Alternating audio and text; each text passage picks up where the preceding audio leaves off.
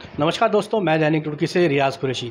हम लोग आज सी ओ सिटी रुड़की के साथ खड़े हैं विवेक कुमार, जिनकी कावड़ कांवड़ यात्रा को लेकर क्या तैयारी है, आला अधिकारियों के क्या निर्देश उन्हें मिले हैं 2022 कांवड़ यात्रा को लेकर। चलिए उनसे बात कर सर, आपका दैनिक रुड़की में स्वागत है। बहुत बहुत धन्यवाद। सर, कावड़ यात्रा को लेकर इस बार आपको क्या आला अधिकारियों के निर्देश मिले हैं?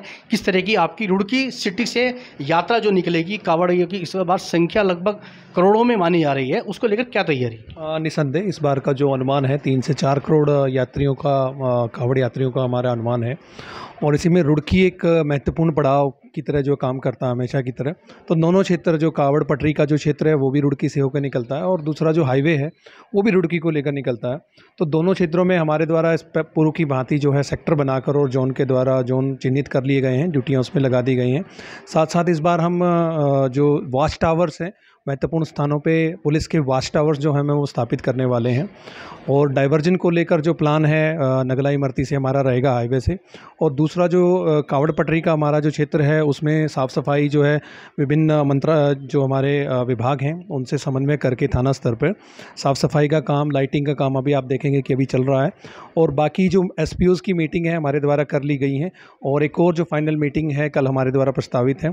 तो विभिन्न लेवल पर हमारे द्वारा इंडस्ट्रीज़ से भी सहयोग करने के लिए, यात्रा में पीने का पानी, फोर्स के लिए सुविधाएँ, उनके लिए हमने मीटिंगें जो हैं वो एक एक राउंड हम कर चुके हैं, दूसरा राउंड भी प्रस्तावित है। साथ ही साथ जो दो जो हमारे कंपनी हैं, वो अभी जो हमारे रुड़की क्षेत्र हैं, उसमें आ गई हैं और एक आईटीबीपी की है और दूसरी पैरामिलिट्री फोर्सेस की जो कंपनी है, वो वहाँ पे स्थायी रूप से जो है यहाँ पे स्टे कर रही हैं। तो सभी से जो आमजन है, उनका भी हमें बड़ा सहयोग मिल रहा है अभी और लगातार मीटिंगें लगातार गोष्ठियाँ इसमें चल रही हैं। सर सावन मास का परसों से प्रारंभ हो जाएगा चौदह तारीख से। और मीट की दुकानें काफ़ी लगती हैं वहाँ से कावड़ भी गुजरती है कावड़िया काफ़ी गुजरता है। तो उसको लेकर आपकी क्या तैयारी है? इस संबंध में विभिन्न जो ढाबे हैं हमने चिन्हित किए थे। ढाबे और जो ऐसे जो मीट शॉप हैं उनको चिन्हित किया था।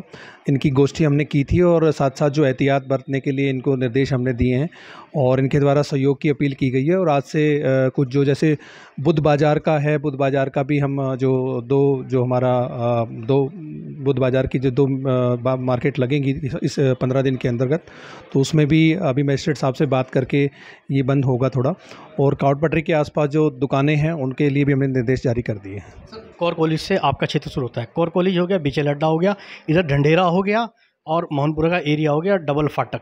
रामनगर और रामपुर, चुंगी, इसको लेकर चौराहों, तिराहों पर आपकी क्या तैयारी है? अभी मैंने जैसे बताया था इनमें जो कुछ पॉइंट हैं उन पे हमारे वॉच टावर्स रहेंगे और पूर्व की भांति बैरियर्स और बैरिकेडिंग्स के द्वारा जो है ड्यूटी जो हम लगाएँगे उसके लिए ड्यूटी चार्ट हमारा तैयार हो चुका है। खुफिया विभाग और सिविल वर्दी में कितने इस समय बांटा गया है इसको? इसको लेकर जो कावड़ मेला सेल से जो है लोग चिन्हित हो चुके हैं और काफ़ी लोग हैं जो जिनको चिन्हित किया गया है। और डंडा लाठी को लेकर क्या है निर्देश?